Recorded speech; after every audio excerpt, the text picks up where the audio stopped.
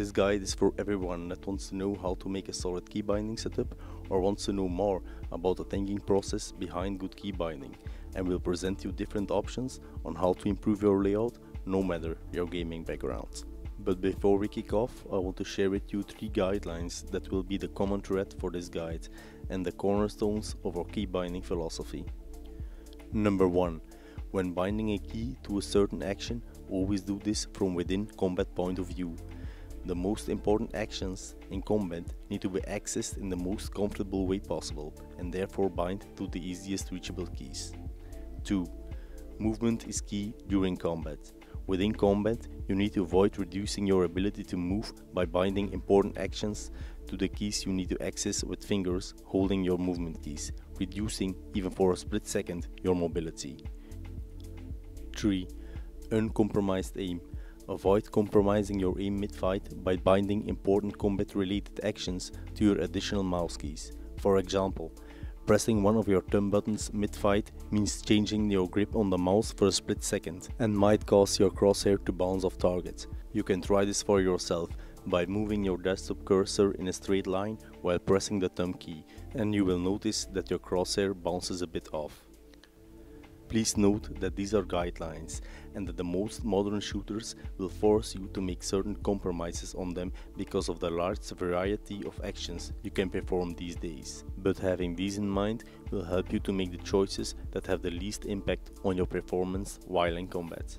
But before we can configure or change any keybinds, we need to ask ourselves two questions. 1. Which are the most important actions I need to perform while in combat? This might sound straightforward, but it can differ depending on the shooter game you're playing. For example, Fortnite. These days, the most important aspect of combat in Fortnite is building, for protection and for getting the high ground advantage over your opponents. This implicates that your building keys need to be easily accessible without compromising too much on your mobility to move. But if we take a look at Apex Legends, it's a different story.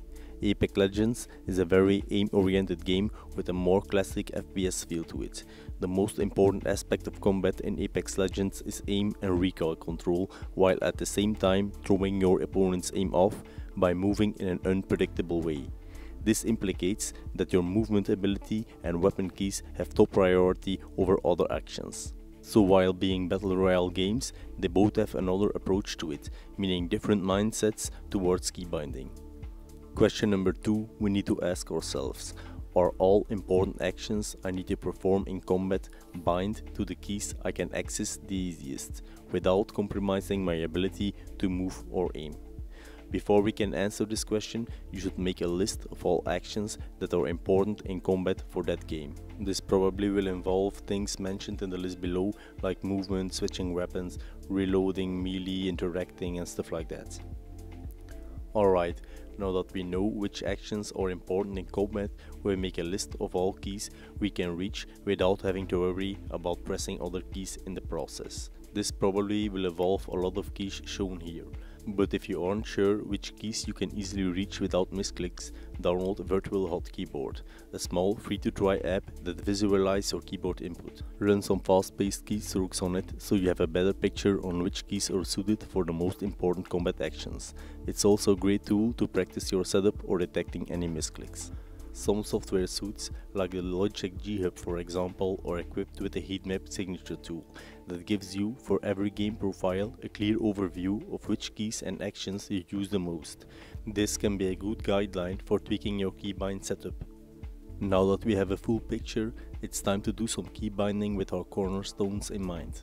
Note that this guide will not cover all individual keybinds since that's a personal preference and depends on factors like experience, game, keyboard and mouse button layout. Instead, we'll highlight the mindset behind different setups.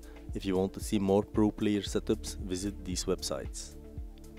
The first mindset example we're going to review is Ninja's Fortnite settings.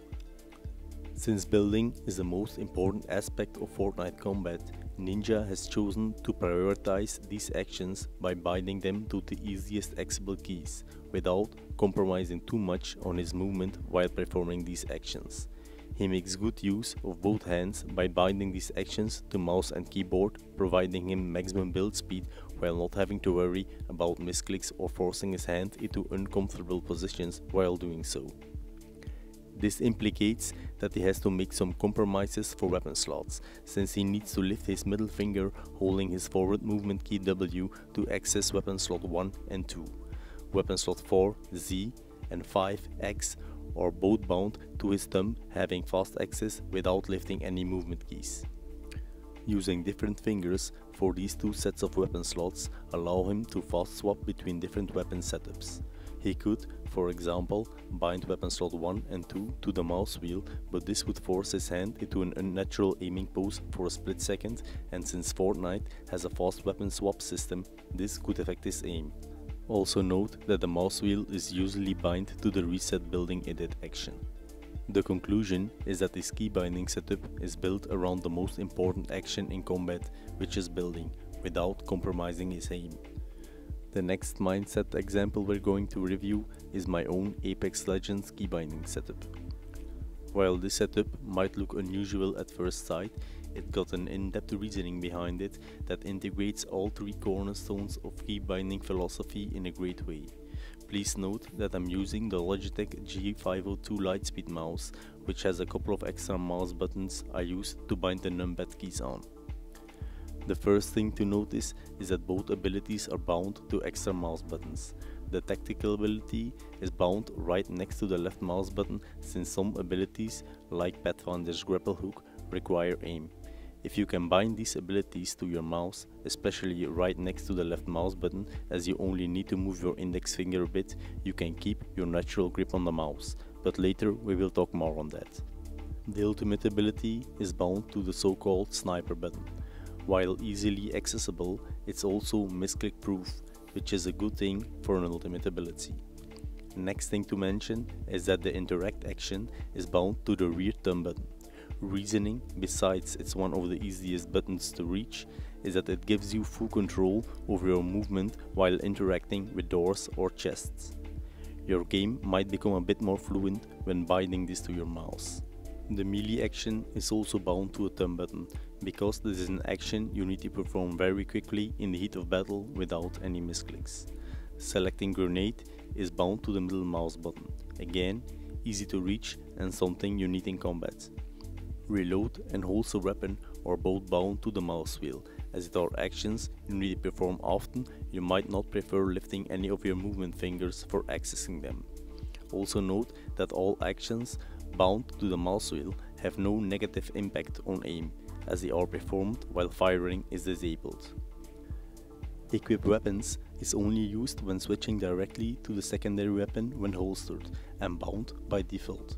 Cycle weapon on the other hand is useful in combat since you don't have to worry about reselecting the same weapon mid-fight and is bound to the left alt key which can be easily accessed with the left thumb without lifting any fingers from the movement keys.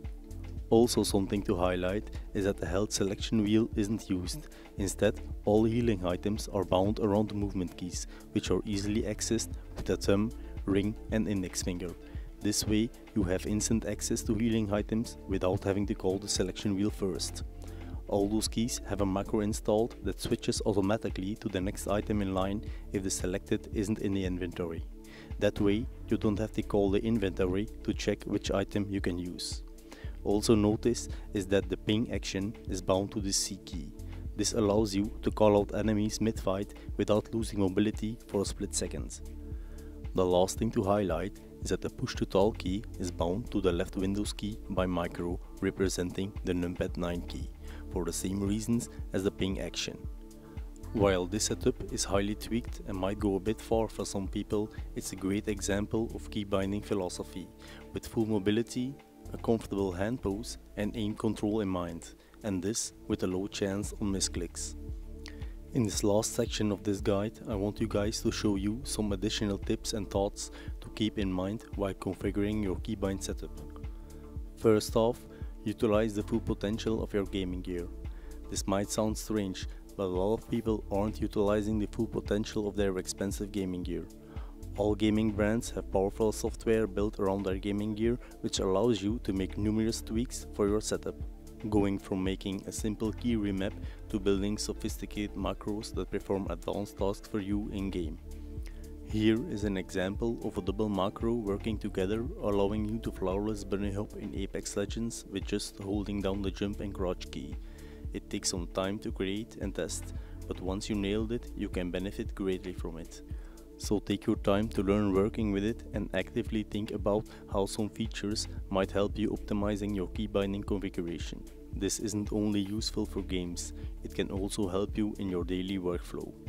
The next thing I want to mention is that if you're having problems with reaching all of your keys or play games that require a lot of input, you might consider using a gamepad.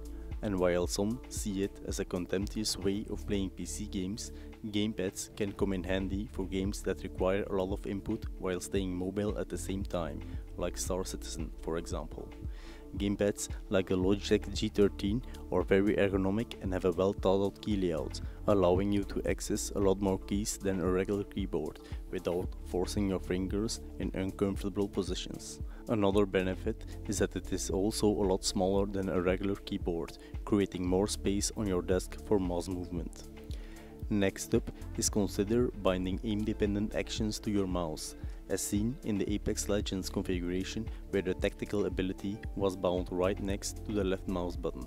It can be a good idea to bound aim dependent actions like for example in Overwatch Ana's sleep dart or Roadhog's hook to your mouse. The main reason for this is that the muscle memory and eye-hand coordination for the hand controlling the mouse is better developed than the one handling the keyboard since it's used to aim. This means that the click timing which is the moment you press while your crosshair passes the target, is more on point, having a higher accuracy as a result. So guys, this was it. I hope you learned something from it and I'll see you in the next one.